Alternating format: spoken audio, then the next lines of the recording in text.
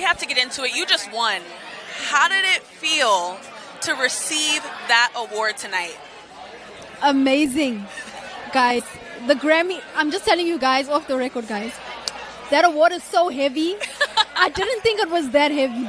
So, yeah, I just loved holding it. It's amazing. Were you surprised by how people responded to Water, or did you know it was one of them ones when you were recording? I knew it was an amazing song. I did not know it was going to do this, though. like, it literally changed my whole life. Mm. So, never could have expected it. Yeah. And obviously, your your presence in the diaspora of African music right now is super important. And obviously, you represent South Africa down. Obviously, we we hear it in the log drum, we hear it in the production. We even you talked to Rolling Stone about the Haibo ad lib yeah. that you threw in there. But how else does South Africa and your world come into your music?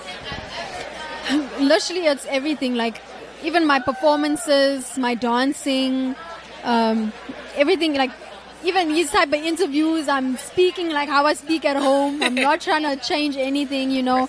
I just want people to see authentically who I am, where I'm from, experience the culture and the energy that people always love about South Africans. So, yeah. So no code switching around here. We stay no. true, head to toe, down, down. And then I think in April we've got Coachella coming up. Yes. What are you planning to bring into this performance? Because the world went crazy when you got that water bottle and yeah, did yeah, a little something. So yeah. what do you what can we expect from this show in the desert for the two weekends of Coachella? I mean, we already started speaking about it. We are very excited. We you everyone knows we don't do normal things here, no ways. So I'm sure that by the time Coachella comes, everyone's going to be getting a show, a South African experience, a Tyla experience. So I'm looking forward to it.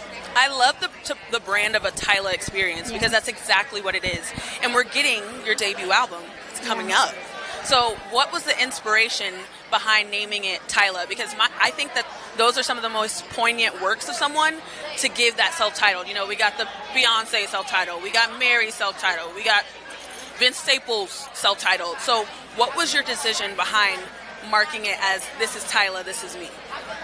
I just really wanted my first album to be an introduction because I am really new in the game. You know, even though I've been working years, I haven't just shown up out of nowhere. I've been working years, but I'm still very new to people and I just wanted my music and my first album to be an introduction to Tyla and my sound because it is a new, fresh one.